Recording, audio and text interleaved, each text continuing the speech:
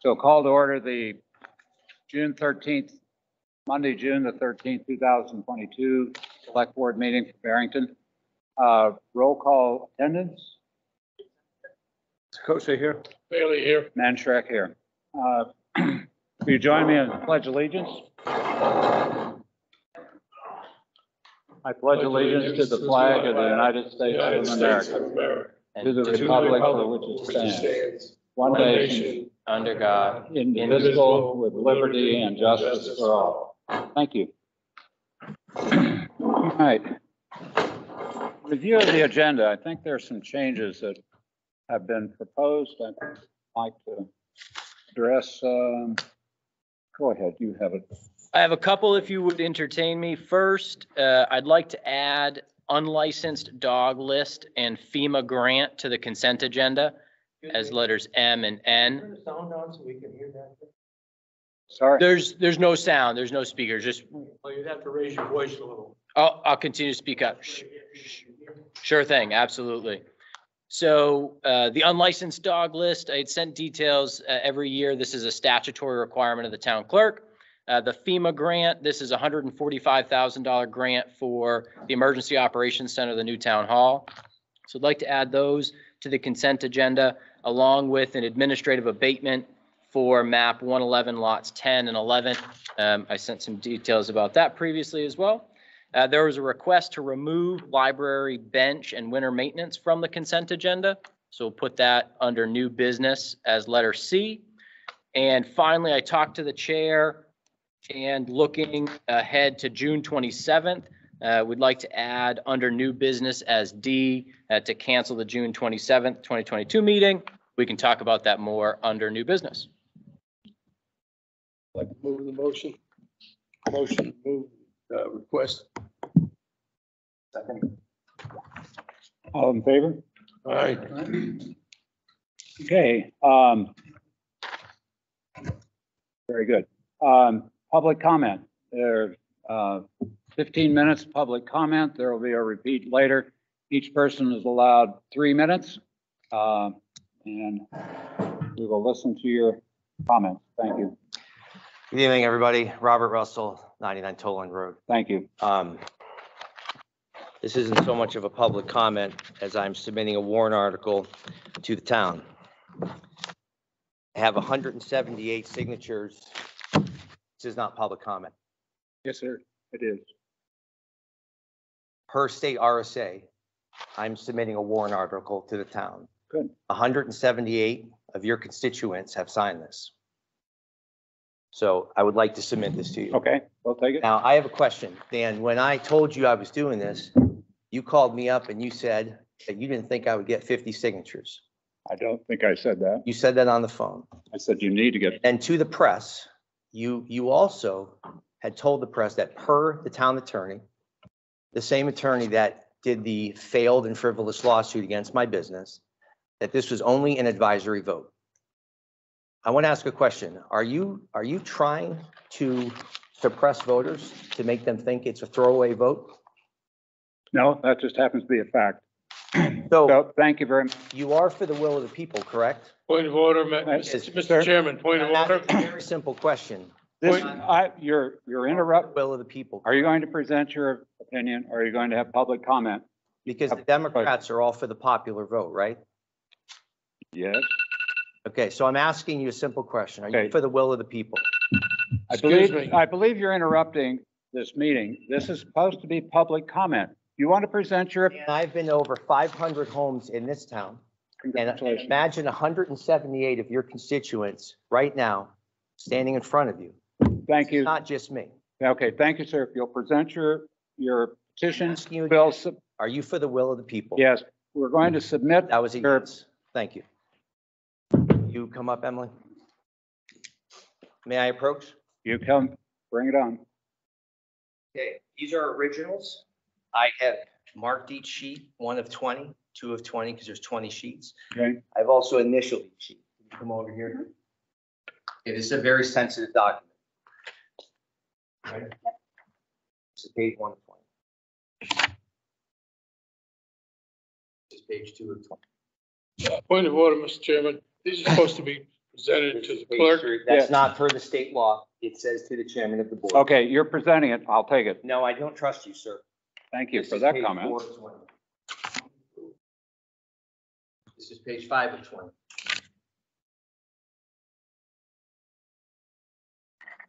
This is page six. of 20. Page seven, of twenty. Page eight, of twenty. Page nine. of 20. Of 20.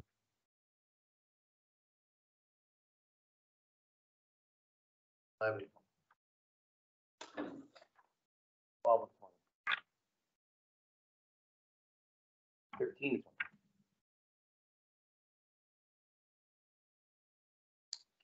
20. Fourteen. of 20. Fifteen. Of 20. Sixteen.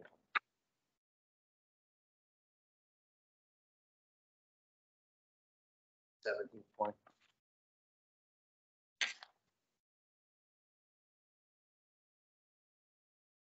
Nineteen. of 20. Twenty. of 20. Thank you, Chair. We'll give this to the supervisor of the checklist.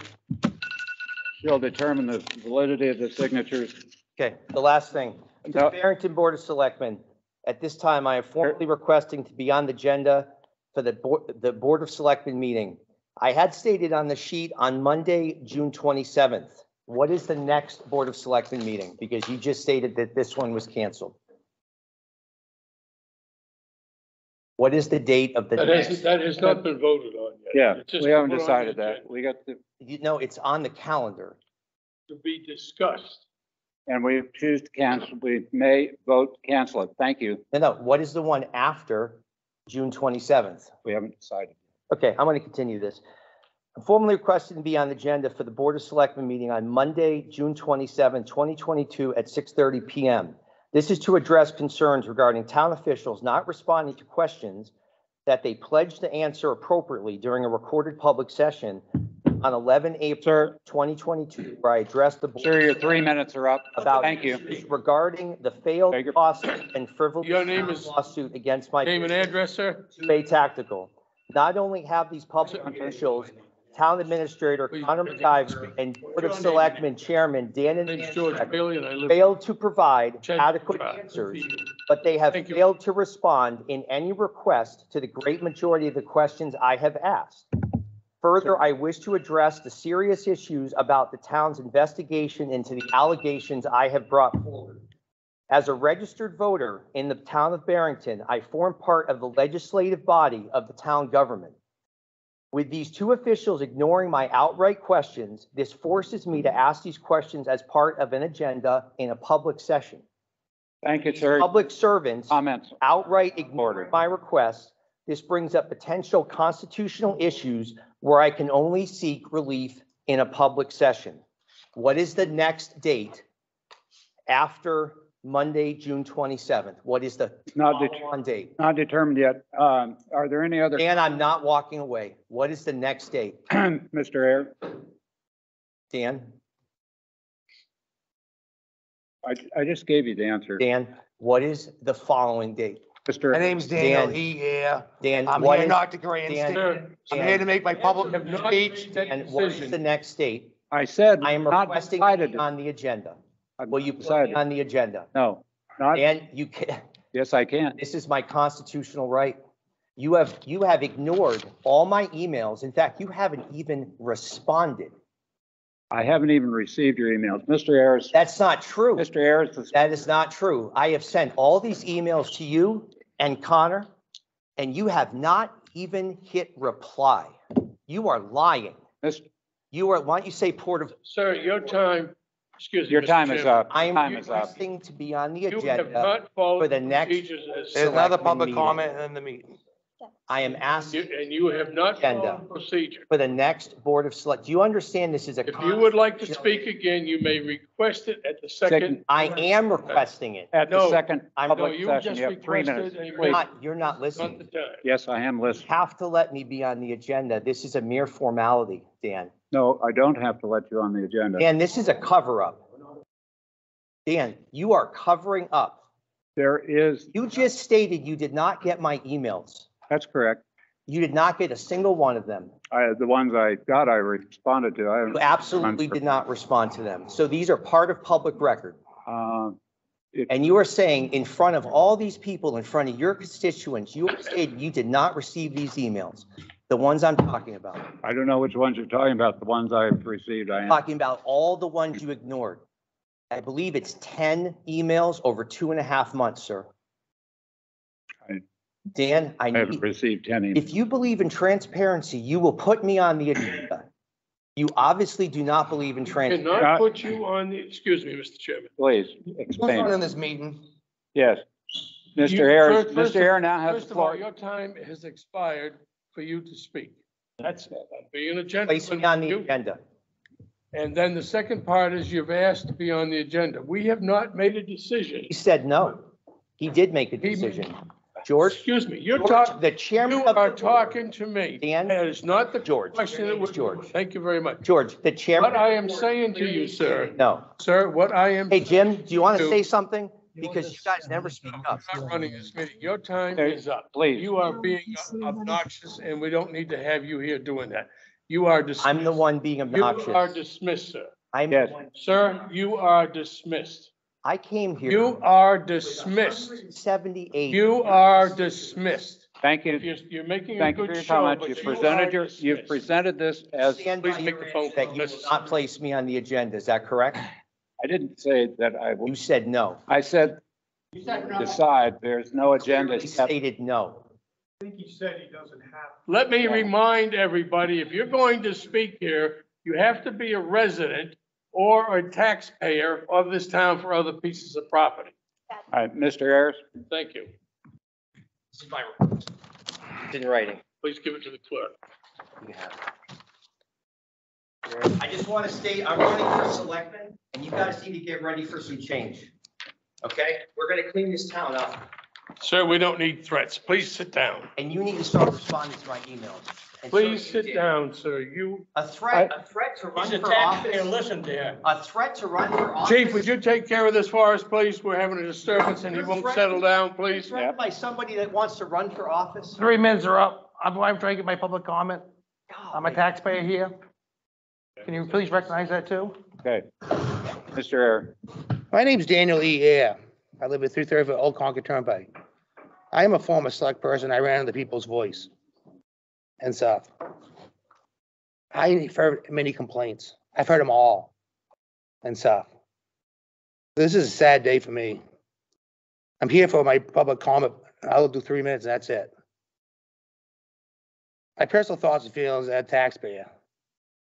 The tax, the town has enabled two- two-way tackle and Rob Russell. It's sad to hear he wants more of taxpayers' money. Code enforcement, code enforcement informed the business was in violation of town ordinance and was told the steps to correct them.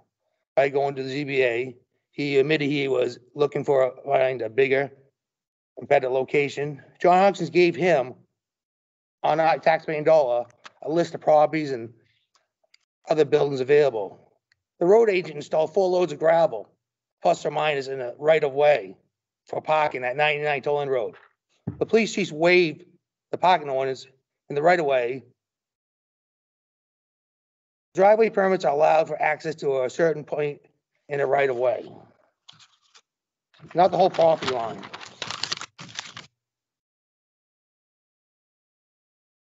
And there's no parking on the causeway or roads with other, without the consent of the select board or its agent. There's hundred and sixty miles of private roads in this town. I'm sure other taxpayers would love to have four loads of gravel installed for free. Any contractor putting up orange cones in a right of way has to post signs on the cones in the right of way for the purpose. You just can't put, leave them on the side of the road. The town finally enforced the ordinance after a long time as the business grew and added more employees and containers. Courts informed courts will inform anyone they have to exhaust all local town steps. And one of them is go to the ZBA. If that need to be appealed, the case, once that is done, the courts will hear the case. Why are we having a special town meeting at the taxpayers' expense when it should be held in a court of law?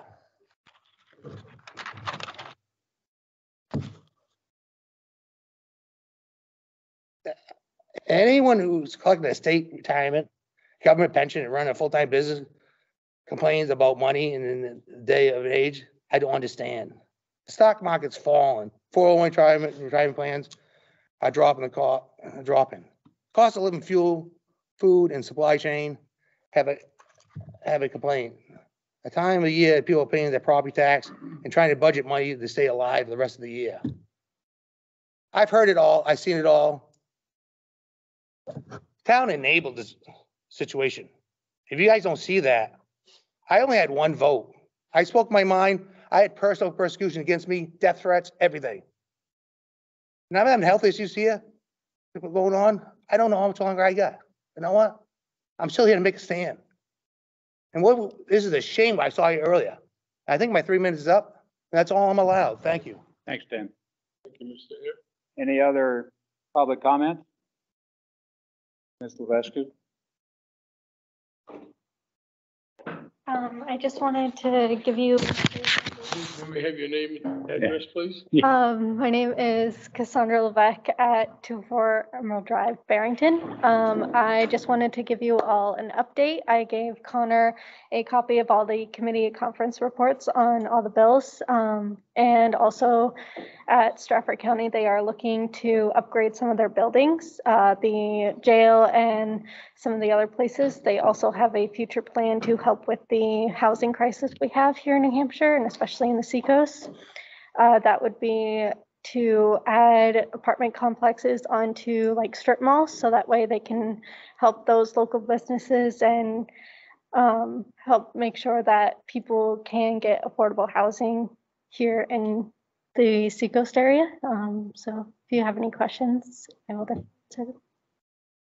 Mr. Thank you very much. I appreciate everything you've done for us. But I have a question uh, concerning the strip malls. Mhm. Right now, presently, we have s- some towns that have businesses downstairs on the main street, and they have uh, business slash uh, uh, apartments available upstairs. Uh, What's, what's going to prevent us from going back into uh, default or to almo- almost uh, non-use like some of the towns are? What's going to prevent that? Has that been part of the discussion? Um, I'm not sure what, um, I, we just got the report from the commissioners, um, at the last meeting. Uh, that it's still up for discussion of what's gonna happen and they're still trying to look into all the different kinks with that. It's just like a future plan that they have that they want to implement. So, so if I, if I may ask you, could you come back then in the future and give us the update? Yes. Thank you, thank you, Mr. Chairman. Thank you. Anyone else? Any other questions? Thank you very much. Appreciate it. Yes, sir. Uh, Good evening, Paul Mosteller, 83 Washington Street. Um, Kind of discuss some old business, which is on your agenda tonight, H copiers. Um, Maybe the town administrator can answer some of these questions, but uh, was that put out for bid? I understand Seacoast is a local business. Has the, uh, has there been bids put out for the copiers? Be happy to answer if it's the board's wish. The, so the town has a standing contract with Seacoast Business Machines, which is one of the allowable items under the purchasing policy to continue the relationship. So this was not put out to bid, but is consistent with the purchasing policy. Okay, 347 per month, is that per copier or one copier? That's total. Uh, How many copies per month? So it's a separate services contract. This is for the device itself. Um, Seacoast Business Machine structures their contracts. Um, we actually have like an umbrella contract for the town. Um, and we have overages that amount to a couple hundred dollars a year. Um, and we try to make adjustments, uh, to reflect that. So it's not per copier, if that makes sense. How long is the lease? The lease is five years. Can you explain a little bit about uh, the, the blanket uh, window using this contractor? Yeah, so it's called the non-appropriation clause. Is that what you mean?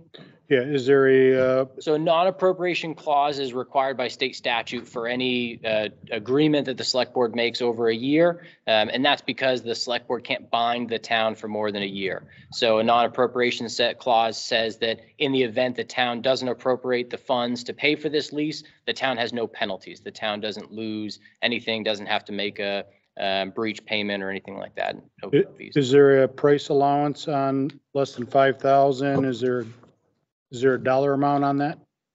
On the non-appropriation clause? Yeah. The dollar amount is a dollar. The, there's no, if we don't have the funds to pay for it, the non-appropriation clause would kick in, no matter what the amount is. We have a new board here that's selectmen. Have they, do they understand that, uh, the realm of the lease? I mean, if they're, if the prior board had discussed this, now this is a new agenda, it- that your agenda says twenty twenty, now we're twenty twenty-two. It's a great point. Yeah, so this, this select board, the five that are with us, well, they're not all with us tonight, but uh, we've done a couple of leases with non-appropriation clauses and gone over them in detail on the regular agenda, not the consent agenda, but it's a good question. Uh, second question, uh, the polling pads, we have four of them, is that correct? Yes, sir. Um, was that a grant? Did, was it a line, budget line item? How, how do we, It was a budget line item. okay, and was it presented to the board, the prior board? Yes. presented. Um, has there been a, uh, a third-party penetration test on those polling pads? Because are they connected to the internet wirelessly? No, so these devices are um, connected to each other and that's it. And so that's so they can all maintain um, an updated checklist. And so something that's interesting in New Hampshire right now with the poll pads, and it's, it's important to make the distinction, nothing about the actual voting process has changed at all. It's simply the registration process when you check in. And state statute requires that there exist only one checklist, only one voting checklist. And so how that requires municipalities to handle an election is to break it up by section. Uh, we- Barrington has traditionally done it by alphabet and have one person. And the problem with that is the line for whatever your last name is, is always long when you get there and all the rest of them are empty. The poll pads, what they allow um, the staff to do, the election workers to do, is any station can take any person and it's all updated concurrently. But the interesting thing about New Hampshire right now is New Hampshire hasn't, the Secretary of State's office hasn't authorized use of just the poll pads. The town has to maintain a still a physical checklist, just like we do before.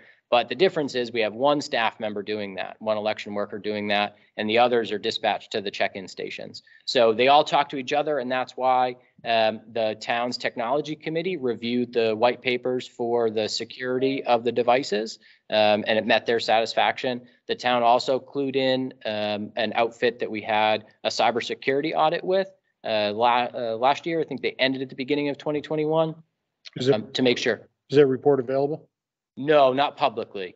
So the, the details of the poll pads and the cybersecurity audit are all not subject to release uh, under the right to know law, simply to protect the towns, uh, protect the town from vulnerability from any cybersecurity attack. So the select board and the technology committee is familiar with the details, uh, but those aren't details we make publicly available. Uh, ROI on the, the polling pads to the less people at the polling booths? Is there, So we paid for the poll pads the first year with a reduction in election worker wages. So if you look at the 2021 versus the 2022 uh, budget for election wages, the uh, reduction, uh, the amount that we reduced bought all of the poll pads. So we'll continue to see savings. I know my time's up. Excuse me, I I have one thing to say, please. Uh, Would you please, well, on that last question that Mr. Marcello asked, could you just discuss the training that was given to everybody prior to the use and everything else? But that would be helpful if you'd do that, please. So they had, a- but prior to the election, the first election with the poll pads, all of the election workers were brought in for special training from the company and representatives from uh, the state to make sure they understood the system and how to use it. Okay, last question, Rockledge, the 124 acres, was there a discussion on extending that one more year for them to do whatever they were gonna do on that 124 acres? That conversation's still ongoing. No decisions have been made yet. Any other public comment? Public comment?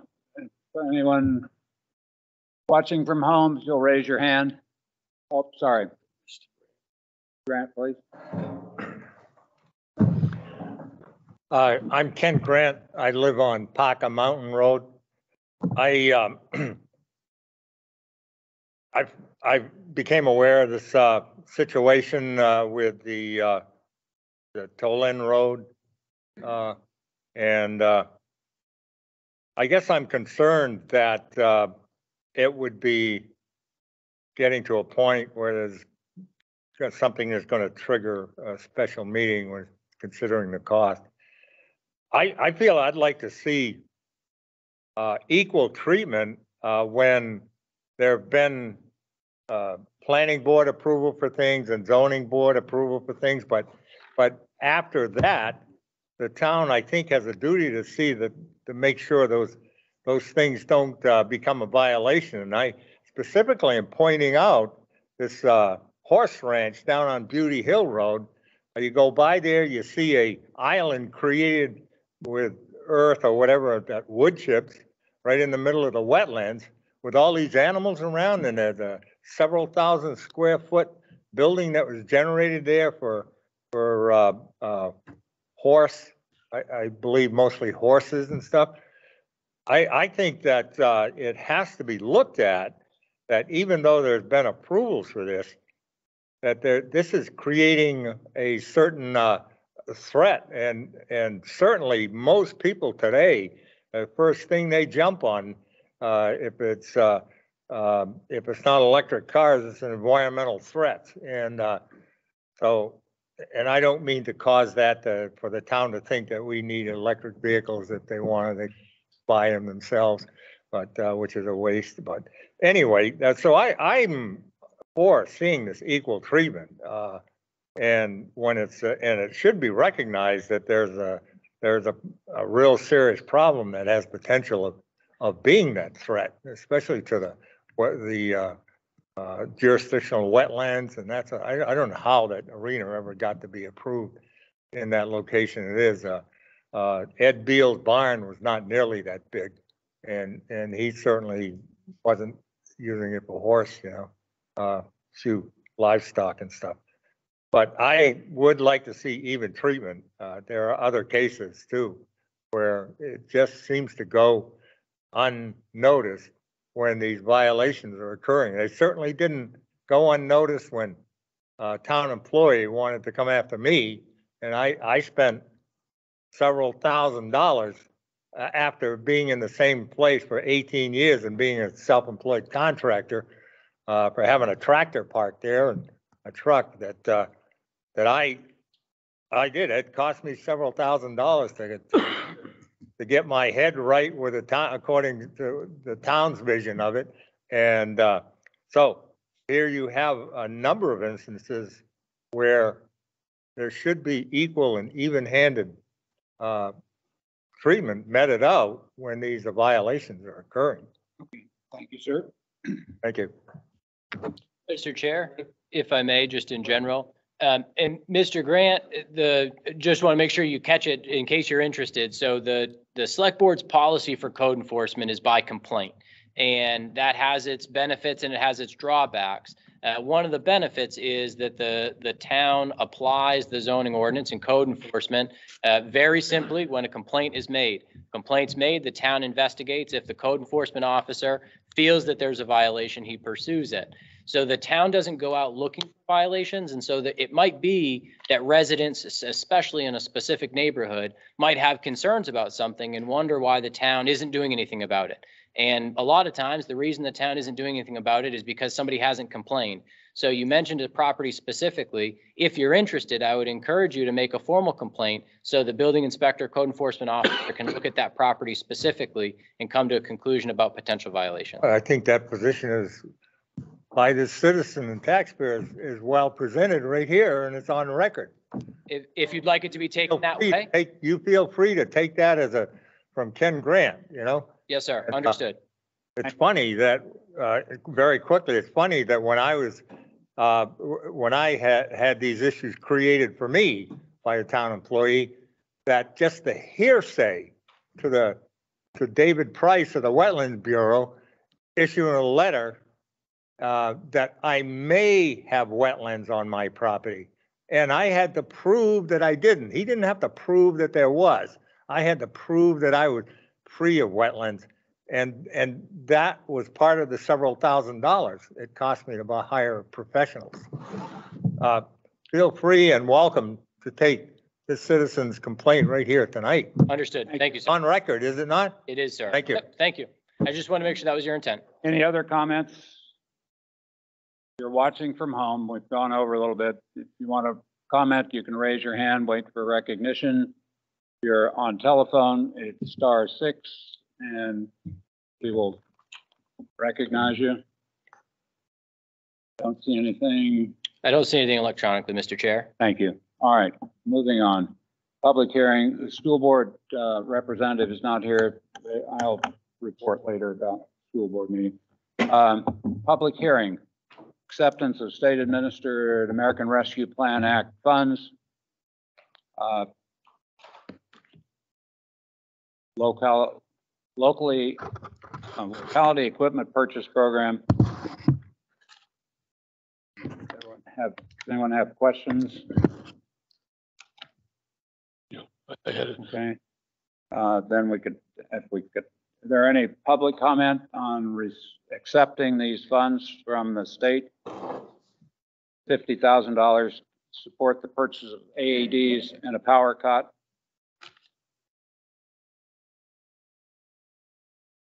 I see no public comment. We have a motion.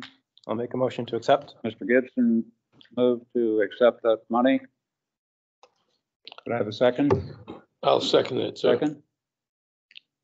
All those in favor? Aye. Aye. Opposed? Do we need separate, Yeah. separate motions for each one? All right. Uh, the State Department of Justice, hundred thousand dollars support, purchase and support of new laptop computers out of ARPA funds. Are there any comments? Any public comments?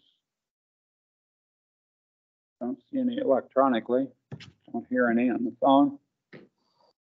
Mr. Bailey? I'd like to make a motion to accept and expend the uh, state administrated ARPA funds through the State Department of Justice in the amount of $100,000. Mr. Gibson, second. All those in favor? Aye. Aye. Opposed? Okay, State Department of Health and Human Services, $160,000 Recreation Department applied for hundred and sixty thousand dollars to support of a multi-passenger van in support of young adult programming. Are there any comments, questions? Sir? Yes, Mr. Bailey? I have a comment on this. I think it's a worthwhile thing. It's about time that uh, uh, we took a step forward here and included more people with our uh, rec programs. And I'm grateful for the uh, rec director for making sure that this uh, funds were applied for. And this one is still outstanding. We're waiting to hear an answer back. We're holding the hearings. The hearings have to be noticed in the paper um, in order to accept and expend any funds over ten thousand dollars. Um, and so the, just so you have that information. Thank you, sir. Are there any other comments or questions? I don't see any electronically. Mr. Bailey? So I'd like to make a motion, make a motion to accept and expend the state administered ARPA funds through the State Department of Health and Human Services in the amount of hundred and sixty thousand dollars. Should we, add- should we amend that to say, uh, if approved by the state? That's okay. Yes. If approved by the state. Second? All in favor? Aye. Thank you. All right, consent agenda as amended. Um, Motion to accept the consent agenda as amended. Okay. Second. Favor? Aye. Okay, new requests for signatures. That passed on the consent agenda. That- Oh, that's right, that was C, duh. Sorry, guys. Duh. F and G and except for F. Okay. Appointments, I don't think there are any. No, sir. Okay. Staff reports. Mr. MacIver. Thank you here. We're at the first meeting in June. I'd like to uh, recognize the work anniversaries, those employees that were hired sometime uh, years ago in the month of June. Uh, Starting with our longest serving employee Timothy Booty in the fire department for 27 years. Uh, Scott, Scott Young, currently a part-time uh, police officer in the police department uh, for 24 years. Katie Perry, the police administrative assistant for 17 years. Monica Poitras in the Recreation Department for 12 years. John Huckins has uh, been Building Inspector Code Enforcement Officer for nine years now. Eric Baker, currently a police sergeant, has worked in the town for five years. Jacob Cummings in the Fire Department for five years as well. Donald Morse, currently our canine officer, uh, has served in the town for four years. Tiffany Cottle, uh, Municipal Office Administrator, uh, for three years. Christopher Cook, the custodian in the library for two years. We hired our Human Resources Administrator Deborah Wood one year ago this month, and Sam Janelle joined the fire department one year ago as well. So certainly appreciate the tenure of those employees and look forward to uh, more tenure in the future. And that's all I have, Mr. Chair, that isn't on the agenda. Thank you very much. And thank you to those employees for your good service. Ms. Cottle, do you have anything for us? I have a repurchase deed for map one twenty-six lot fifty-five and um, the warrant for unlicensed dogs that was just approved. Thank you. We'll sign those. Thank you. Moving on to old business, crack sealing award update. I think there's a letter in your packet, uh, Mark Morrow explaining, um, concerns about the, uh, crack sealing, uh, that want to modify that, the, the motion that we made.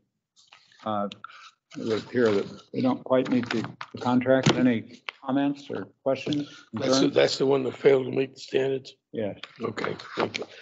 I gotta find it, but I know I read it.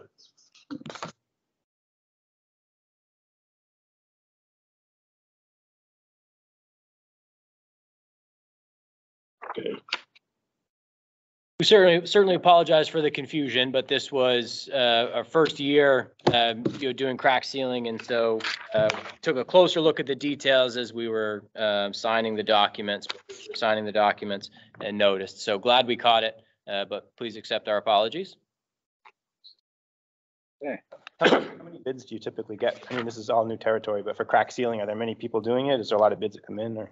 It, it depends. It varies widely. The, honestly, the biggest challenge we're experiencing right now is so many contractors in every industry are so busy uh, that we're really having to fight to track down bids. Uh, on the consent agenda, we just approved spending hundred thousand dollars to buy police laptops and other items. And we ended up awarding that to a couple of different vendors because we couldn't get everything in one place.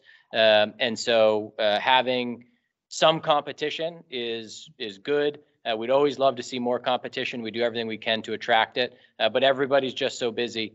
I think one of the things with the crack sealing that might have held us back a little bit too is simply the quantity. Um, where, you know, it has to be worthwhile for folks to come to town, do, um, everything they need to and, and go out. So we, we will learn, but, um, it would always be good to see more competition. In this case, there were only two. Mhm. Okay. Any other questions? And we could entertain a motion to re- redo this. I'll make a motion to accept the new contract. Uh, crack sealing? Yeah, crack sealing. Yeah, we'll rescind the, the previous award that we made the last meeting. I'll second that. All those in favor? Aye. Opposed? Okay, Daniel Cater Road gravel and vegetation discussion. Uh, again, in your packet, you've got a letter, Mark Morrow, to the uh, Conservation Commission and the Ayers Lake Association. Are there any questions about that? You know, I had, I had a, uh, a question, um, not on, no, not on his letter. Is- Oh, the- yes, I did. The only thing I have on the letter is the, uh, smaller, uh, uh, crushed stone going to affect anybody's tires? I know it's an off the wall, but that's just a question I have. I don't think so, and it's being applied to other roads as well. Yeah, well, I, I, I just happened to see it here and I wanted to ask the question, so that was it. Thank you. I gotta find out where I put my, I had notes on it, so. Yeah, I don't, I don't know that definitively, but I think, I think they're gonna use it on all gravel roads. Yes, I saw, I read that also, but Yeah. thi- It's- this is the first time, I guess, I, I've seen it. It inch looks, and a half came up in front, so I want, I just wanted to ask that question if it affect the tires or not, so that was it. Thank you. yeah. Have we received any reply from either the Conservation Commission or the Ayers Lake Association? No, very tight turnaround, so I wouldn't have anticipated it. I just Didn't think so. Thank you.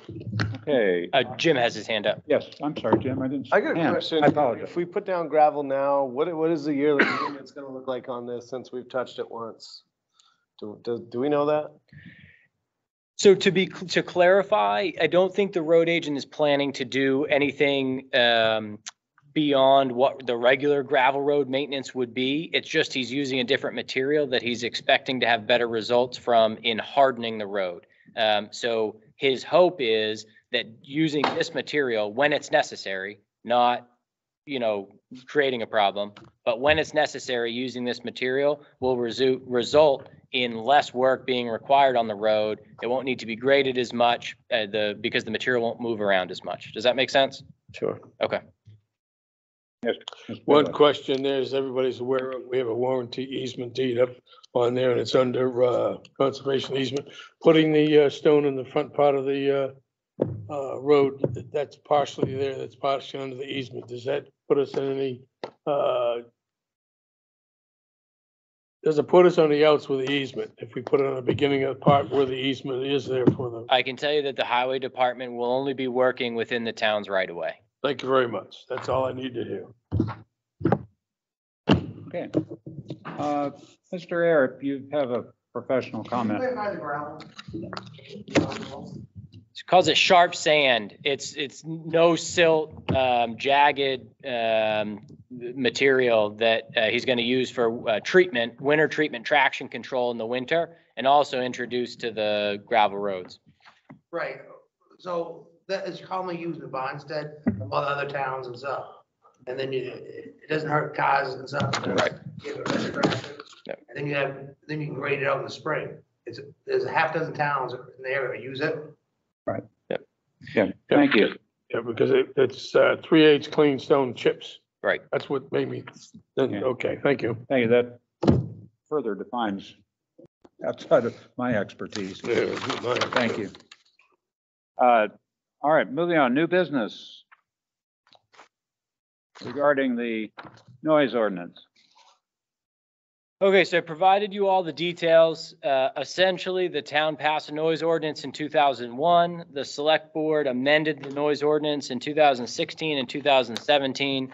Ultimately, the select board has no authority to amend an ordinance unless when that ordinance was passed, they gave the select board the authority to amend it, um, which makes the two, the two thousand sixteen and two thousand seventeen amendments null and void for all intents and purposes. Truth be told, the ordinance as it's written now is pretty difficult for the police department to enforce anyways. I won't speak for the chief, but a lot of times in a situation where um, somebody calls in a violation of the noise ordinance, if any charges are brought up, it's typically not on the noise ordinance, it's um, something else.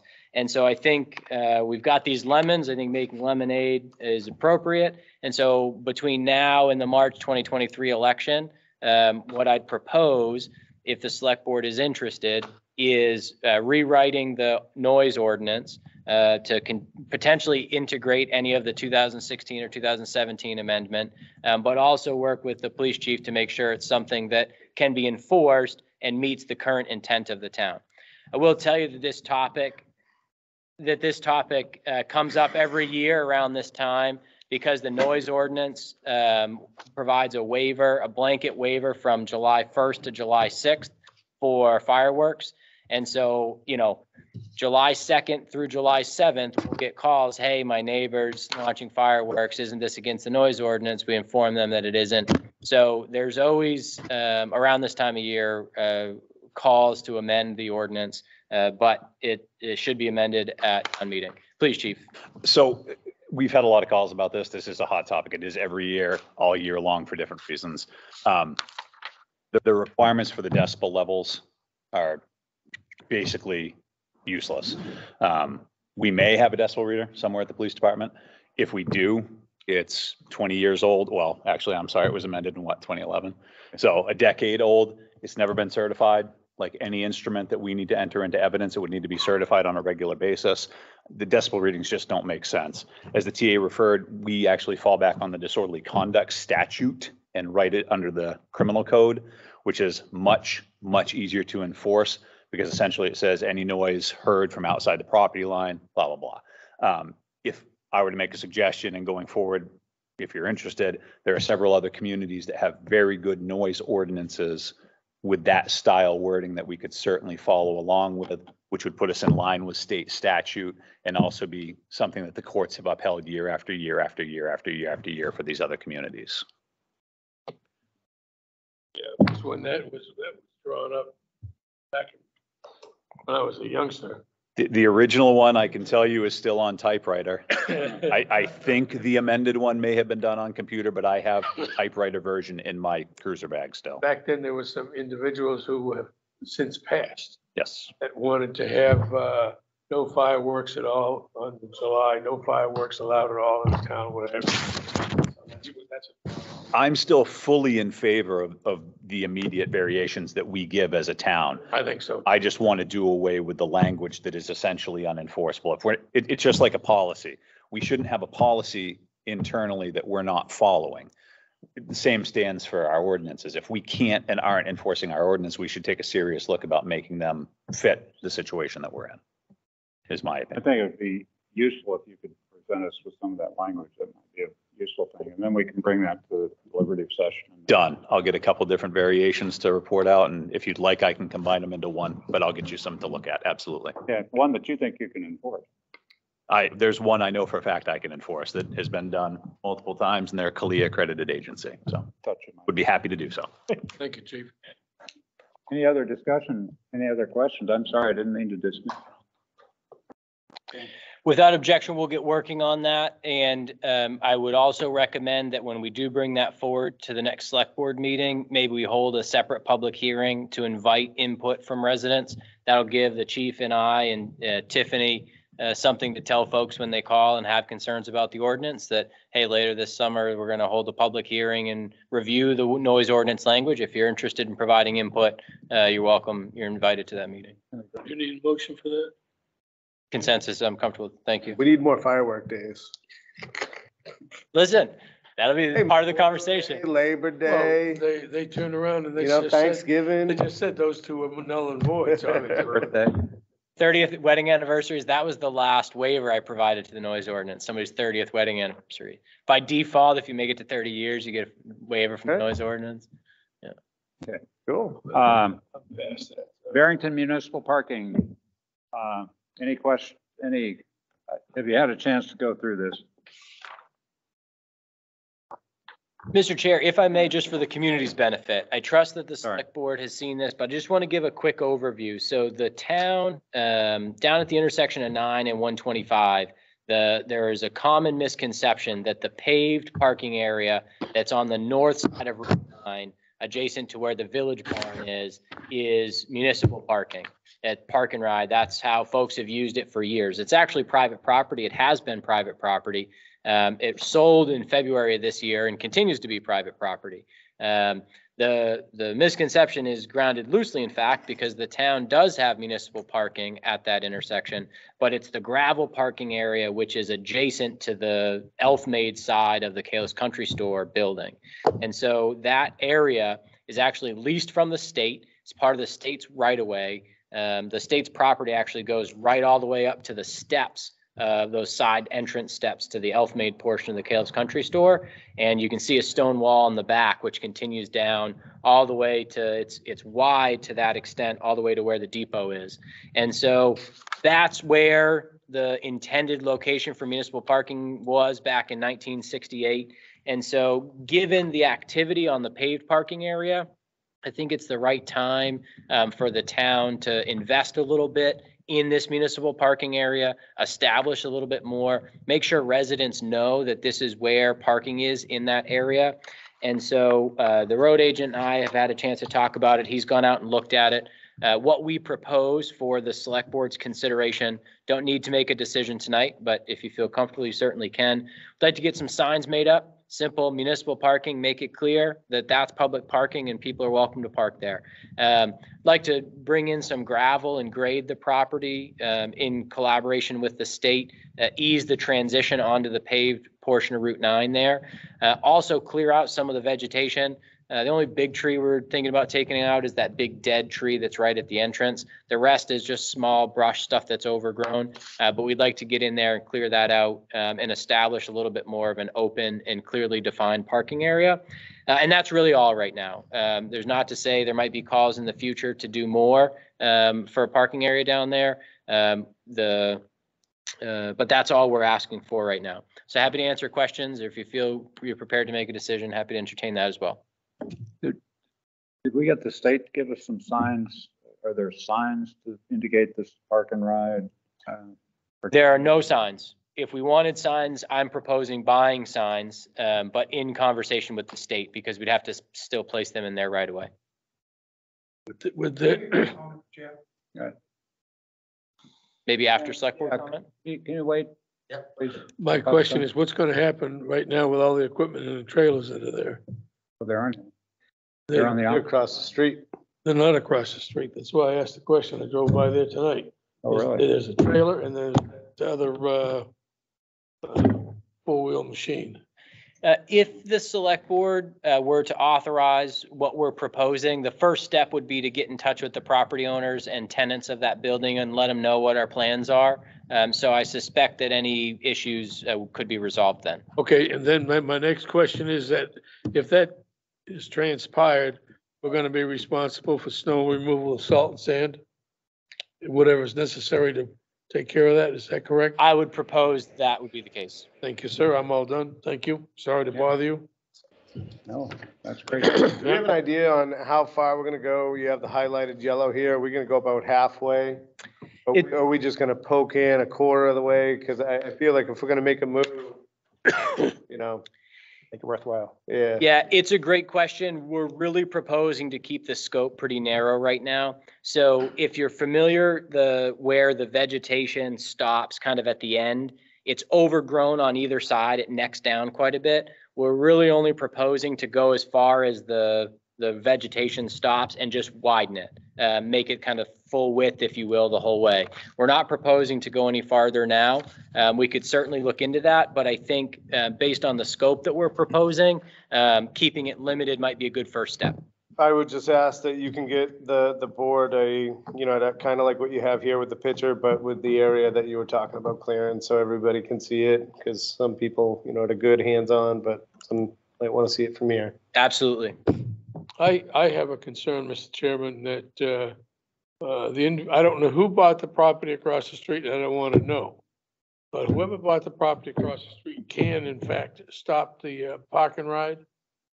Yeah. At that piece, and if they stop the park and ride piece, going along with what Jim just said about how much we're gonna have here, how many cars are there? Usually see what, seven, eight, nine cars at times for the park and ride, usually it, that's from me driving by and seeing them. And so it, are we planning on those seven or eight, nine cars being across the street? And then also for, uh, customer parking, are we required to pay, to have customer parking for, uh, the store? Because of, because, you know, in the past, we used to, so that, that's it, you know, so. And then the, uh, part of the snowmobile trail comes that way also. Yep. So, and it goes across the street, so, so the way the, the, across the street is done now, and I don't wanna know who the owner is, he's blocked off the trail. So did he cancel the trail? No, the trail is actually going on the right-hand side of the, the two old barn buildings. Then, then, so the, the Trails Committee, the- not the Trails Committee, but the people that do the trails would have to clear, clear that up a little bit, so they. can- Yeah, I, I Okay. think it's already. All right, that, so that, that's what my, that's what my concerns are that, that are there. And also the other concern is if we have the parking too close to the building, how's it gonna affect fire chief and his crew? You want to, I, I- Yeah, I'll answer a couple of your questions and then fire chief has something he wants to say. So first, the, I don't know the number of spaces, but our intent would be to make sure that there's enough room for people that had used the parking lot across the street to be able to use that one. all right, The use of this area isn't changing. People park there now. To your question about, do we have a responsibility to provide business parking? We absolutely do not. okay. The, the only, what I would say is the stated goal of this area is to make public parking available in the vicinity of Route 9 and 125. Whether it's a park and ride for people carpooling or commuting, whether it's people parking there to patronize the businesses. My personal opinion is that that doesn't matter to the town, but making it available is what matters. Well, Um, I asked those questions and keep further use, just to make it on the record is exactly what we're trying to do with it and what it's for. I Understood. wasn't trying to be that other three-letter word, but uh, I, I- I did a good job of it, so that's how I did there. Thank you. Mr. Walker. You laugh. Mr. Walker, please. I, I'm, just to help clarify some of Selectman Bailey's questions, I'll give you a little back history of that property. For a number of years, the park and ride signs were in that parking lot, paved parking lot across the street. That property has been, always been privately owned, and signs were placed there erroneously by the state of New Hampshire. When the Hortons sold Calef's Country Store, they retained that piece of property. And Mrs. Horton was advised by her attorney that you need to close that parking lot. Don't leave that open. It's not, it's private property. It's not a parking lot. So she advised the state, the state removed the signs ad- advertising it as a parking ride. And basically what she did was shut the parking lot off to limit liability to her as she didn't necessarily tell people they couldn't park there. She just didn't advertise the fact that it, people could park there. So that's really the back history behind that, that the park and ride signs erroneously, whatever number of years ago, were, were erroneously put on the wrong piece of property by the state of New Hampshire, and they were removed at the request of the current property owner. Or previous, should say. going along with what Jim said, I'm gonna blame you, is that if we have a smaller area, where is the off, uh, parking going to be for, uh, the store? I mean, if, if, just suppose that's shut off, now are we gonna have to go back a second time and make that, uh parking lot bigger to accommodate? I know we're not worried about the parking, but, so what happens? Everybody gets ticketed and now we become the, that three-letter word again? No, I don't, uh. I- Where are you concerned people will be ticketed? if, if they turn around and they fill up the, the, the three parking areas that are on that side of the road with Calef's, and they start parking either in the road or, uh, up against the, uh, grass down further, you know, I would have a problem with that because the gen, the the person that owns the, uh, piece across the street, they shut it off. Th- This, you know, anyway, that, that's how I feel about it. I just don't think that, uh, you know, we're Yeah. doing, we're making this big enough. Yeah, thanks, Rick. Well, since we're on this, Mr. Air has, Just real quick, you could utilize the parking street right up the street at the old school, be no expense to the taxpayers. Mhm. There's fuel, fuels up, you could locate there, there'd be no problem to anyone, it won't cause future problems. It's all ready to go right now. As a designation, all you have to do is designate it as an area. I don't think we're ready to make it. Since we're not ready to make a motion. That's okay. I'll get a more defined um, locale for what will be upgraded, um, Let- more specific see- scope. See what we're gonna do, so we get an Good idea. exact scope I like and. Perhaps consider ARPA funds? Yeah. For a project like that? Sure. Could be, honestly, we don't expect it's gonna cost that much. We'll probably have to hire somebody to take that big tree down and it'll be material, but we'll do it all in-house. Um, and so I, I hope it wouldn't even cost that much. Yeah, if, if the board were to decide to make it bigger, Oh, right. We can do. that might be a good use. Absolutely. Okay. I will bring more information back at our next, meeting. thank you. It'd be useful to see what the usage is and we can revision, revise it. Review it again, once, find out what the actual usage of that area is. Right. So we're gonna do nothing until the next meeting. We'll bring back more information. Okay. Great. Reference, uh, okay, any other questions about municipal park? Library. Um, When road agent. We were asked to clear the snow and the sidewalk in front of the, of the library, to the library. We don't have the equipment to do that. Mr. Morrow made an effort, but he, there are various complaints from the library, putting snow at places they didn't want it. Now we've damaged the, uh, damaged the bench.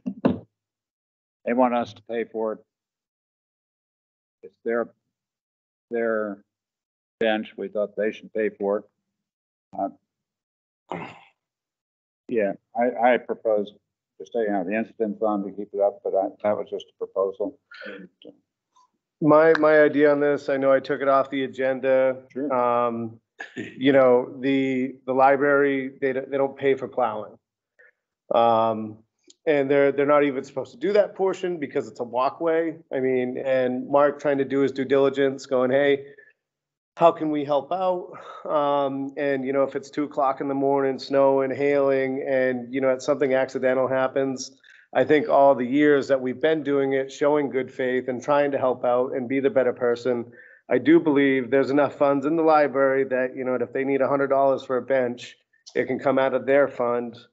Um, also because the library hasn't been easy, um, doing their updates, you know, with the patio and whatnot, and not talking to our, you know, highway department, being like, hey, where do you guys put snow? You know, if we put a patio here, is this gonna put a, put a, you know, a, a kink in the belt? And I don't know, I just don't think it should come out of the incident fund. I think the highway department does a great job and, you know, and it's just, it's not, you know, it would be like helping out a neighbor and, you know, at, uh, you know, you broke his shovel and now he's gonna go, hey, you owe me a shovel.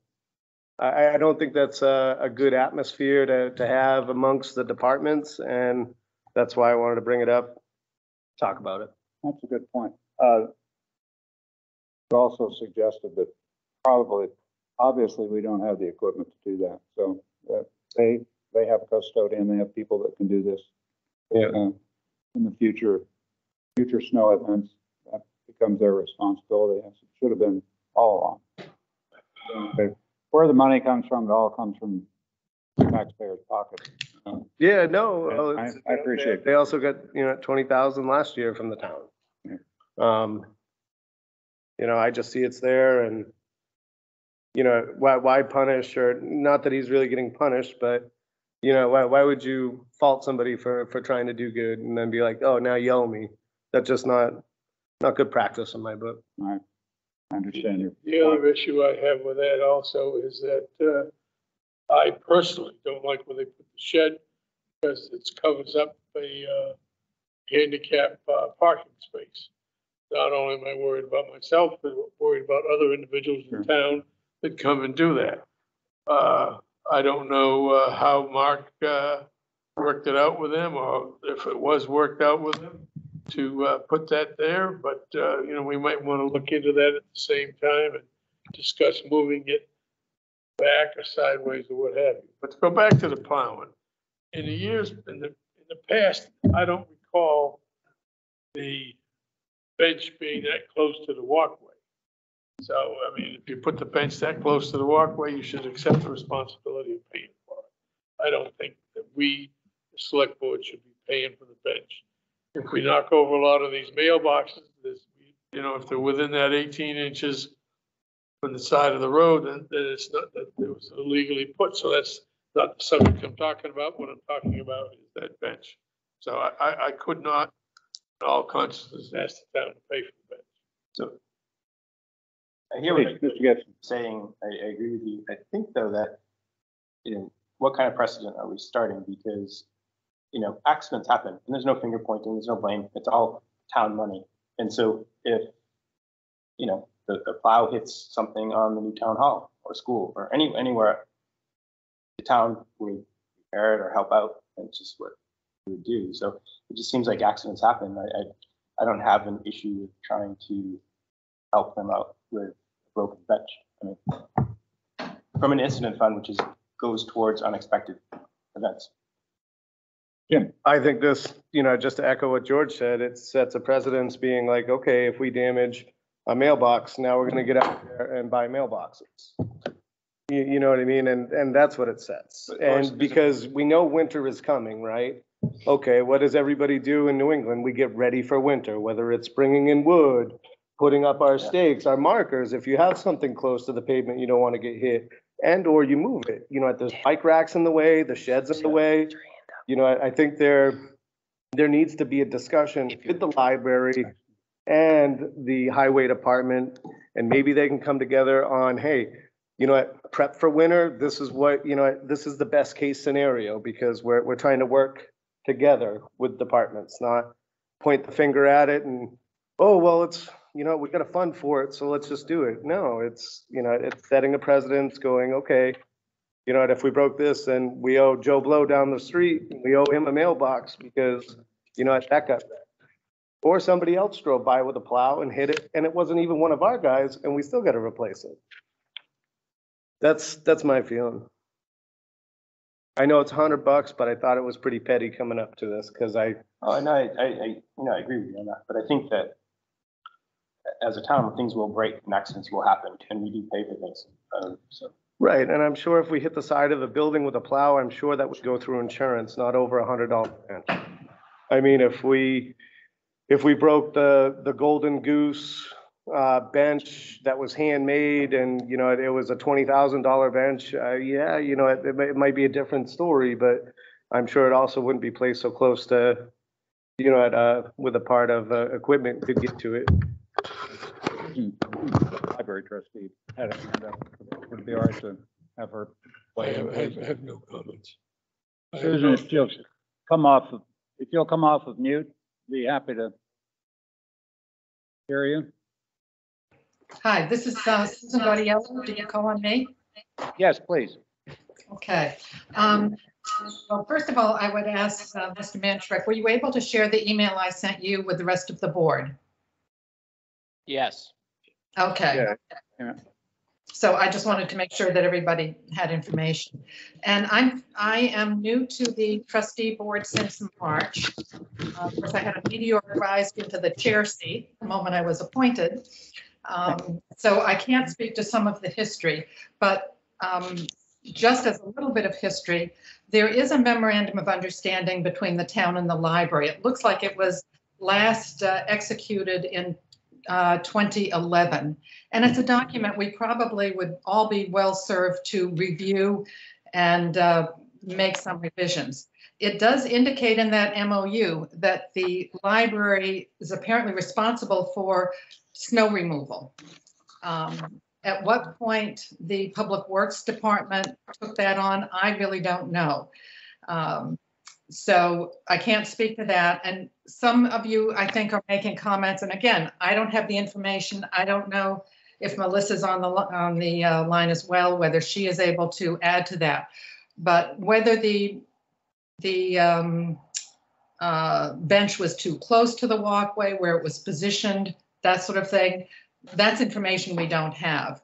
The concern that I expressed to you um, was, yes, it's all taxpayer money that ultimately is being used, but the, the library budget is distinctly different. It's uh, not, it's not line item switching between various departments within the town. It's a separate budget. And our budget is, as you know, very slim. Uh, most of it being consumed by, by staff. So there's not, the budgets are so different between these departments, it's hard to equate. A hundred dollars is not much um, to most departments. To us, to the library, it still is a meaningful amount of money for programming and materials and so on. So that is one of the reasons we felt it was worth pursuing this. Melissa had told me when she um, discovered the bench problem, and I guess she spoke with the road agent, he acknowledged that he was the one who had damaged it. And I, my understanding from Melissa was their agreement between the two of them that, that he would make good on that. Um, and then things have changed since then.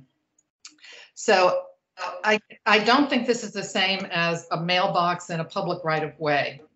That, you know, I know when I was on the select board, there were always people who came and complained that their mailboxes got taken out by the plow.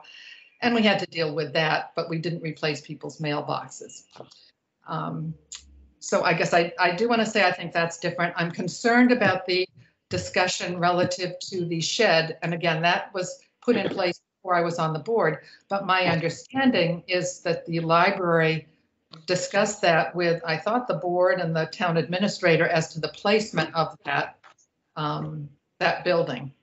Um, And obviously, it's an effort to deal with lack of space in the library to the extent that we could not, cannot hold programs, we can't hold the, do anything in the small meeting room unless we had a place for storage. And obviously, you know, we're limited on space there. Um, I guess I want to stop at, at that, point. it looks like others have something they want to comment on. Mr. Scotia had a question. So it, since, say it's since 2011, since the the highway department has been removing snow from the library. I do I not mean- know that to be No. true. I don't think it's that long.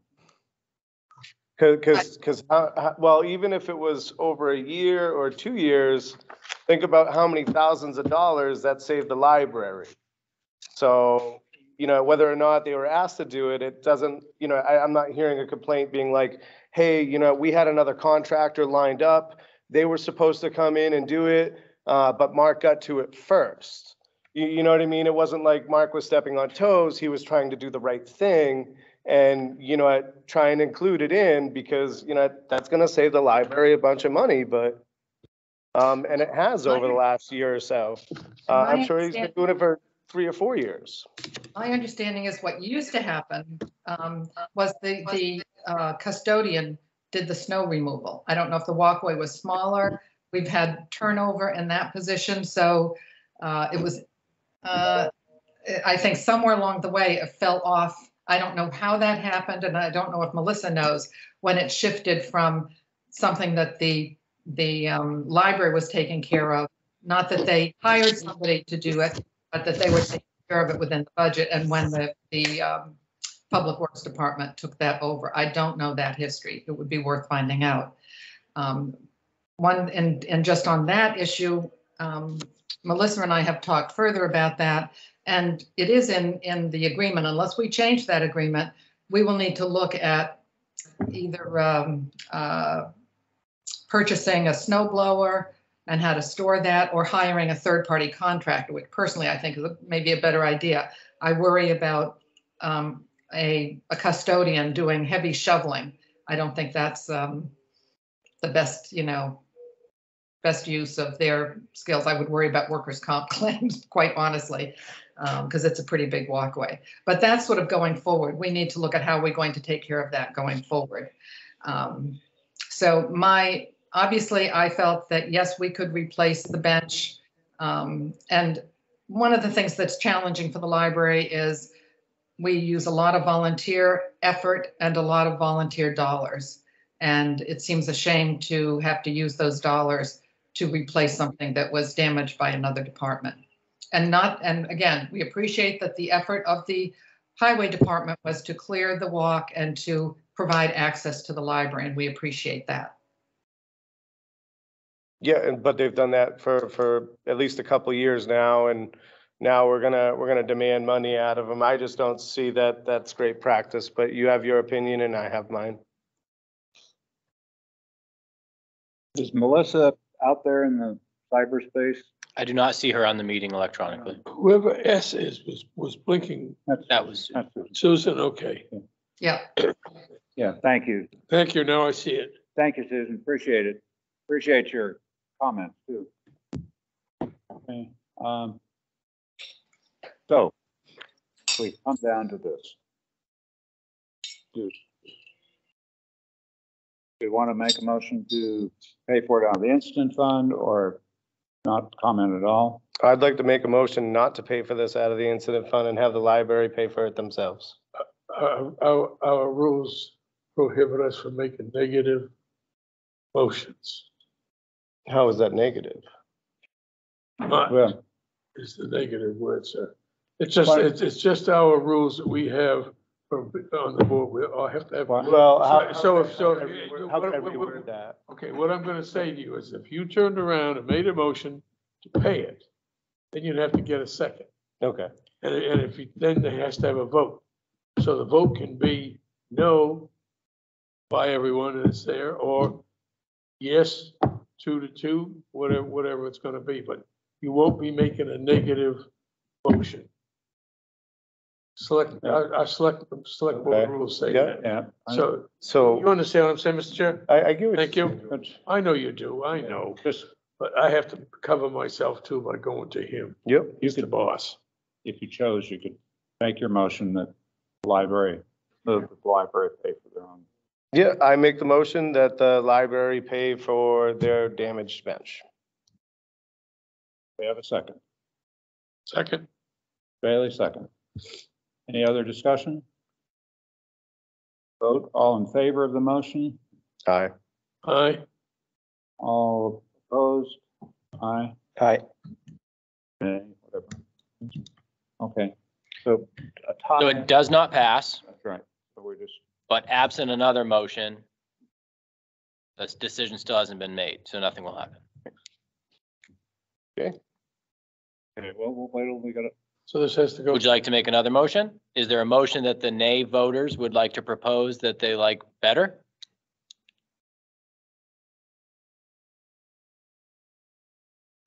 Okay, I'll, I'll, No. I'll propose a motion that I suggest. I s- propose that the, uh, use one hundred dollars from the incident fund to repair the, repair the bench. I would second that. Seconding. Eh? All right, we've had enough discussion. All in favor? Aye.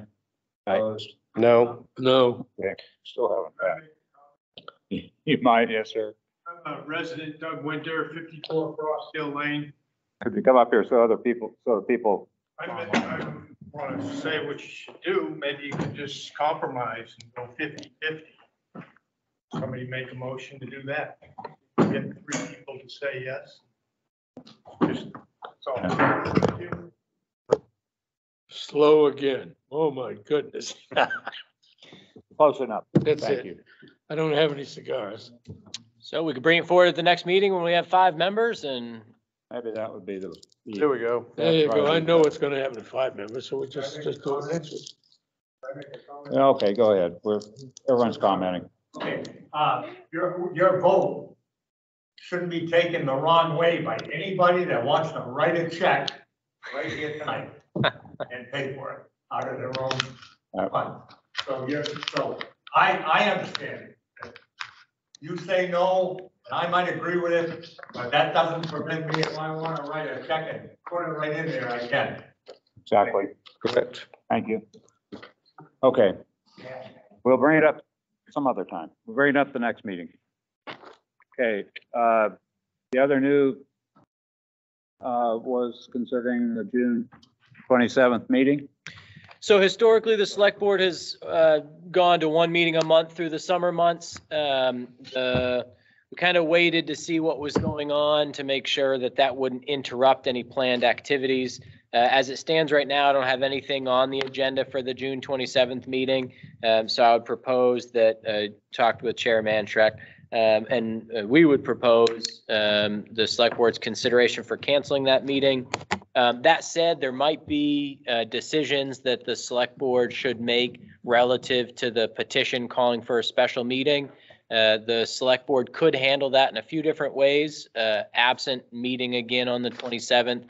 First, the select board could delegate to the chair um, to work with staff and identify dates uh, that will really be the, the, the bulk of any discussion and decision-making. Or the select board uh, could set a, um, the, discuss the scheduling of anything um, through email communication without violating the right to know law, since scheduling and logistics is an allowable uh, use of communication outside of a meeting. Um, And so those are the, uh, the, the points. Happy to answer any questions. Sure. I am asking the question, Mr. Chairman. So if, if we were to do this, we would say that uh, uh, we would have, uh, we would cancel uh, one meeting in June, and then in July, we would pick either the 11th or the 25th or the 8th or the 22nd. Well, Mr. Bailey, the twenty-fifth of July is already kind of a non-business meeting because that's our strategic planning session. Well, no, I'm just, I'm just asking if, if a motion would be made that we cancel the meeting on the twenty-seventh, the twenty-fifth, and the twenty-second. I would only propose, you're welcome to make whatever motion you'd like. I would only propose to cancel the meeting on the twenty-seventh of June. I would leave the rest of the meetings. And if we wanted to make a future decision, we could, once we saw what business needed to be conducted by the town. I'm glad, I'm glad I didn't make a motion. I'd be disappointed. We're gonna need to take care of that on the twenty-seventh or no? What we were. Well, that was the question. Tonight.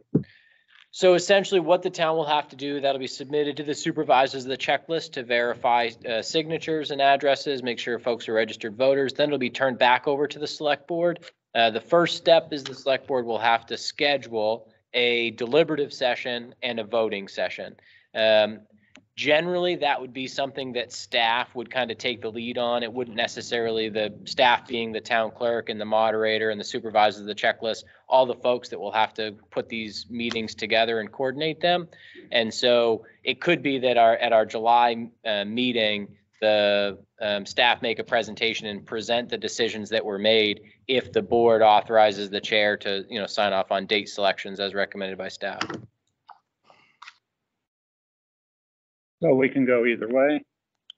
And there are statutory limits to how soon it can happen anyways, um, because folks have to have an opportunity, uh, to come in and register to vote if they're not already registered. Um, it has to be noticed a certain amount of time in advance, and there has to be a certain amount of time in between the deliberative session portion and the ballot voting session portion. I just didn't know where he was so hot to trot tonight to say, I want to be on the next board meeting and then we're canceling one. I don't want it to look like we're canceling it because of him, you know what I mean? And I you know, might be taken that way, but I just wanted to make sure that we're good on that, that note. I know I've recused myself from everything, but I just want to make sure that it's a hundred percent transparent out there, so it can't be twisted. That's something to think about, gentlemen. Yeah. So, um, we want to cancel that meeting, basically, the No, question. I- I- And I- how do we want to be prepared to handle when this, once we get the word from the supervisor of the checklist, then we need to, need to make a set of time for the deliberative session. Because Do we know how long that process takes? Because if we're gonna talk it about now, or if we're gonna wait, you know, till next week or something, and then talk about it, then have it, you know what I mean? So,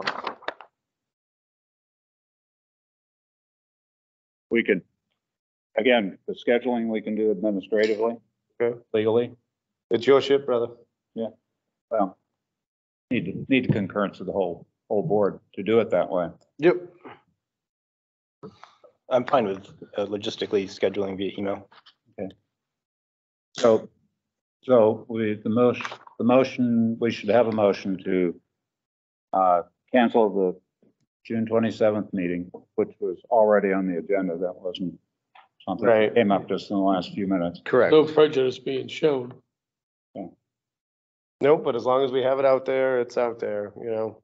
Right. Just want to make sure it's clear. So we need a motion to do that, and then, uh, again, I don't think we need a motion to do the administrative part of it. Okay, so, Motion to cancel the, as planned or discussed, the, the June uh, 27th meeting. Second, all those in favor? aye. Aye. Okay. Um, select board reports, Capel isn't here, Mr. Gibson, Uh, Town lands will meet this Saturday. They did not have a meeting in May. Um, May 26th, uh, Conservation Commission met and um, they're doing a lot of work on the trails uh, tracker program, Jack Gale tracker program. Jack Gale's put a lot into um, this exciting program. I don't know how much. Okay.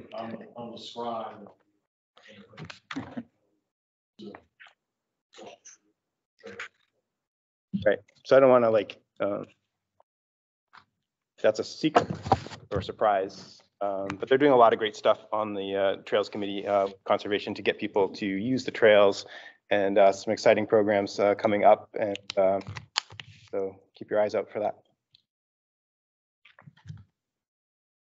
Rec department, they got summer camps, um, obviously pushing towards their goals for the uh, billion they want to do and their rec crew's doing their thing.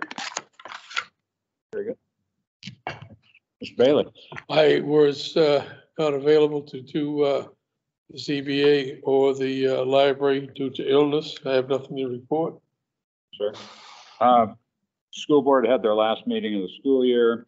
Uh, They had a champion of children's award, Kelly Doucette, recognition New Hampshire Education Excellency Award to Doris Barnes, retired teacher lifetime achievement award to Pam Lindsay, and Barrington School Foundation Teacher of the Year, Jeff Durrell.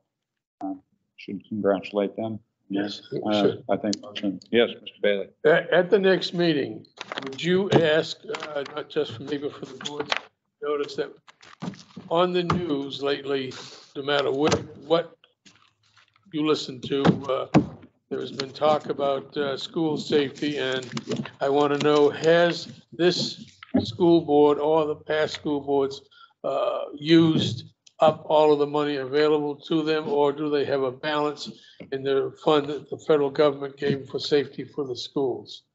I hope you can understand what I'm asking you. It's, you know, if we have to do more, we should be able to do it. The next school board meeting will be toward the end of July, so. That'll be uh, fine. Yeah, um, and I know that there's been conversation between the school board and, uh, our police department on security. Well, I'm not gonna, I'm not asking for any I details. I'm understand. just asking for the balance. 'cause Understand. I, I know how it, it affects everybody. Thank you. Thank you. I'll put that down. Do we know if they're gonna be implementing any of the training that the PD has available? I don't know the answer to that. Okay. That was not addressed at, at the meeting. I don't know the answer to it. Um, There, there's training available out. Yes. Uh, Federal monies for that. Um, the, uh, transfer station, uh, meeting I missed, but, uh, according, according to the notes and conversation, um, I would like, and if we talked about on the consent agenda concerning, um, user fees, uh, because we're making, uh, something thirteen hundred dollars, uh, from the, from the metal, uh, for this new contract. And also the, um, they want the transfer station to close twenty-third, the afternoon of the twenty-third of July, same time as the parade. I think, Two hours, two hours before the parade starts. yeah, something like that. Yeah. And that's about, about it for public, okay. Do, we- do you need a motion on allowing them to close or do we just have consensus? I think we did that on the consent agenda. Uh, both those items are on the consent agenda. Thank you very Yeah. much. Yes, sir. Yeah, I just raising. Um, Public comment. Uh, Now time for another public comment. Again, you're, uh, the total of 15 minutes. You have, uh, each person has three minutes to make their presentation. Again, if you give your name and address, Mr. Bailey, just. Thank you very much. I have a public comment to talk about the uh, police department.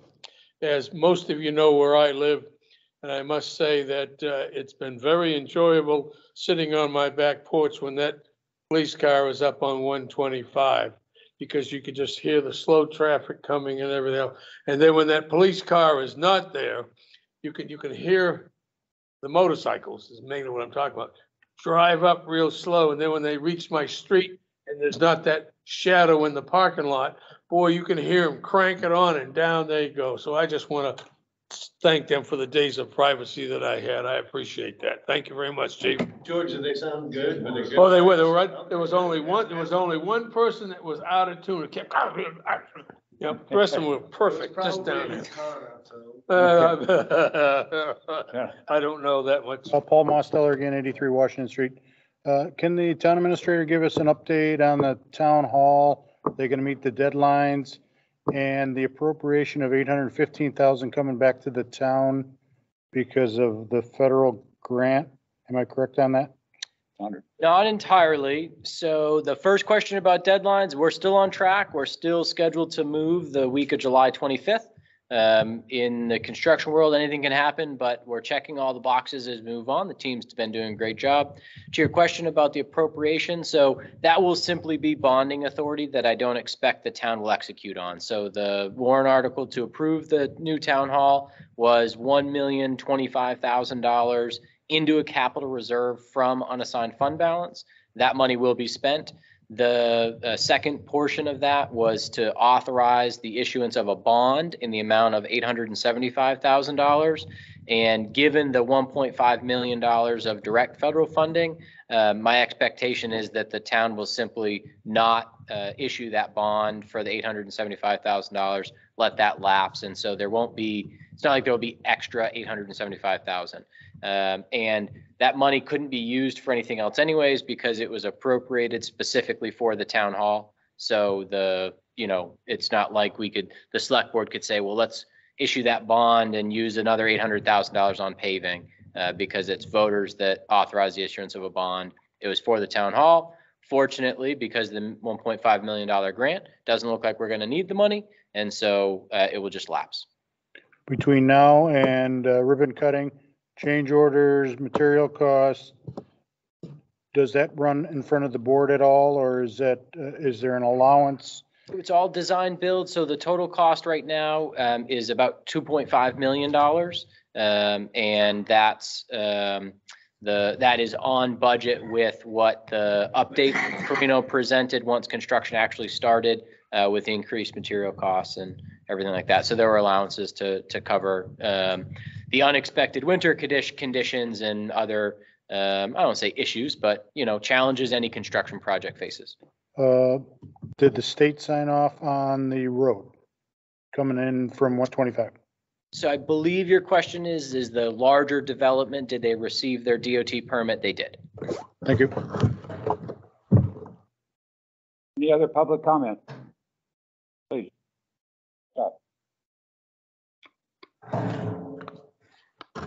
Jack Gale, seven nine eight Berry River Road. Um, just a comment on what the town administrator said earlier. It wasn't just quoting of a rule or a law.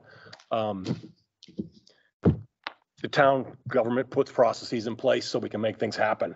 I was the part of the administration of a a landowners association in the community here in town.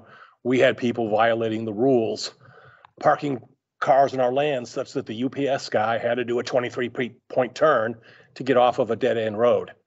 We had someone parking cars on a lot in violation of the rules about having unregistered vehicles. In worst case, we had a landowner who decided to set up a commercial campground on his lot.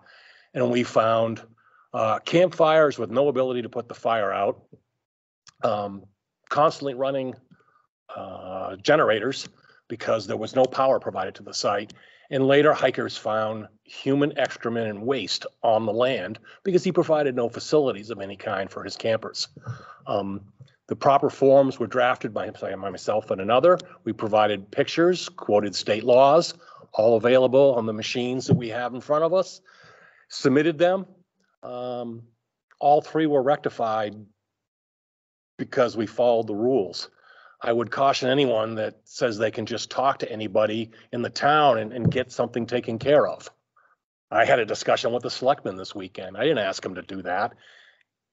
There's a process. I would, wouldn't want a government where something you learned at the diner or at History Day this weekend, all of a sudden becomes action by town officials. We can document these and do them the proper way. The political process would not be a way to do it. Thank you. Thanks, Jack. Any other comments from those present? I can't see underneath. Very good. Um, I don't see any one online. If you're online, you'll raise your hand. We can recognize you. If you're on telephone, push star six. We can recognize you and hear your comments. Oh, sorry. Mr. Walker's here. Apologize. But if there's somebody else ahead of me. I apologize. I didn't- Didn't see you come. Um, as part of the tricentennial committee, I just want to bring you folks up to date and the people that might be listening out in the audience. Um, very successful history day that we took part in with the uh, Historical Society on. Um, we, uh, we were kind of responsible for, uh, the chicken barbecue. Um, uh, there were some disappointed people that left there without chicken because, um, it, we greatly overestimated, underestimated the demand for the chicken. And, uh, you know, uh, that, that has a lot to do with the weather. We had to throw a dot at the wall and say, this is how much we're gonna get, but, um, and hope that we sell it all. Uh, thankfully, we did sell it all, uh, which is a whole lot better than standing there fifty or sixty plates in your hand of chicken and having nothing to do with it, but, um, that very successful day was successful for the Historical Society, was successful for the committee. We were able to get a lot of information out to people, and I think the, uh, very, very, very huge turnout. They, they, uh, they put, they put on an excellent program and kudos to the, uh, Historical Society for being the main driving force behind that. Um, our next, uh, big thing for us is the parade. Um, we have a commitment right now of over 60 entries. It's going to be a huge parade. We're uh, we're pretty excited about it. Um, that I I hope we don't double the population of Barrington for two or three hours. That that that. Um, but at any rate, uh, looking forward to that. Um, we have a number of static displays set up, uh, including uh, an, uh, mil, uh, civil uh, 1700 1,700 uh, Civil War encampment um, uh, that will be going on through the weekend. Uh, we currently have, uh, as long as the weather is good, we have a military hop helicopter coming in that will be a kind of a touch toucher truck. Um, or touch a vehicle, I should say, a, a medical helicopter coming in from DHART. Um, we have a replica of um, I don't remember the show Emergency because it predates my age, but there was a emer- show called Emergency, uh, Squad fifty-one. There's a gentleman up in Maine that recreated that truck. That will be on display that day, so it's kind of old, old, old style EMS versus the, the newer, uh, mil, the, the newer, uh, helicopter. Um, and there's a, there's a number of other things, and that really is going to kick off what is our big week, uh, from, uh, July twenty-third to, uh, final, uh, follow-up with a, a super duper display over on Smoke Street, um, uh, behind the highway garage on, uh, July thirtieth. So, we're really excited for it. We're looking, looking forward to it. It's gonna be a big time and, we, we hope that, people are enjoying this, uh, three hundredth year. Uh, please, Mr. May Bailey, before you, yeah, before you leave. Chief, uh, first question is, what's the route? The route is gonna, uh, so part of the parade will start up on Ramsdell Lane and work their way down to, uh, Redemption Road, uh, where, uh, m- most of the marching units and the, the walking units and stuff will be lined up at Turbocam. They'll come up to a stop there. That group will come out of Turbocam, go down Route nine to, um, Mallego Road, turn on, turn on the Mallego Road and into the back entrance of the elementary school where they'll disband from there. Okay, uh, next question concerns parking. And where parking is, and people gonna be able to be bused from that parking, or do they have to plan on walking from the area We, to to get on um, the parade route?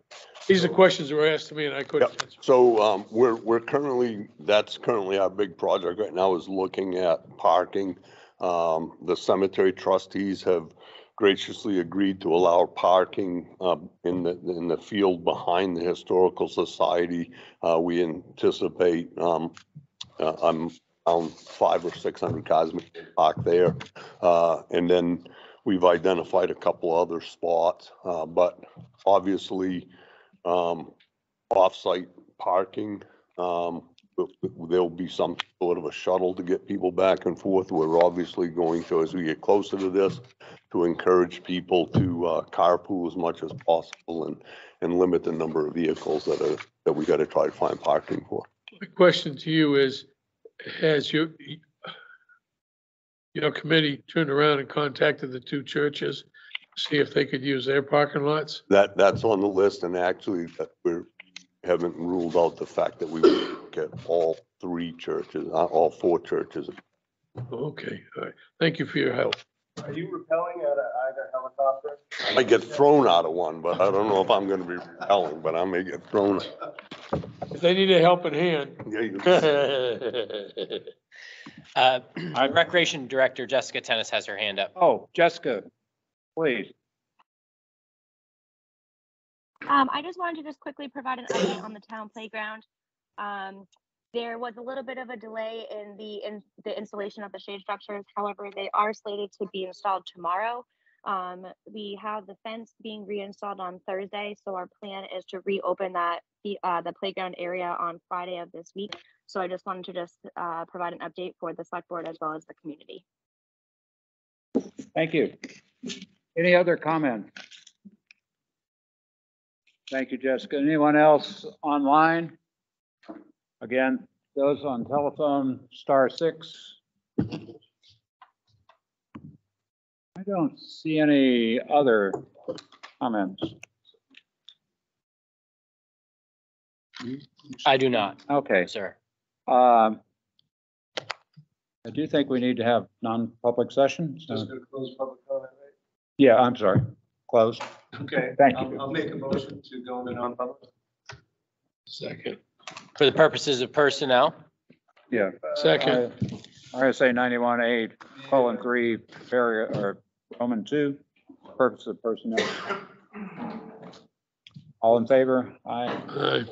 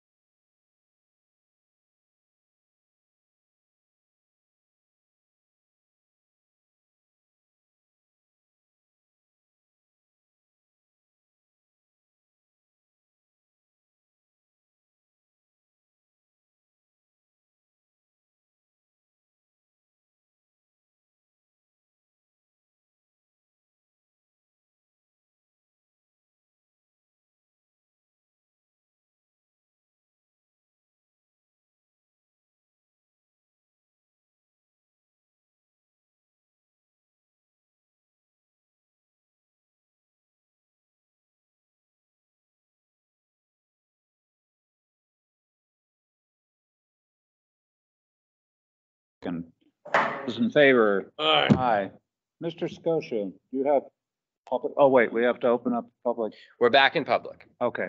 Make a motion to appropriate seventy thousand dollars out of the ARPA fund for police retention bonuses to be administered by police chief and the town administrator. Second. Been moved and seconded. All those in favor? Aye. All Aye. those opposed? Motion is passed. Entertain a motion to adjourn. So moved. Second. Without Aye. objection is so ordered.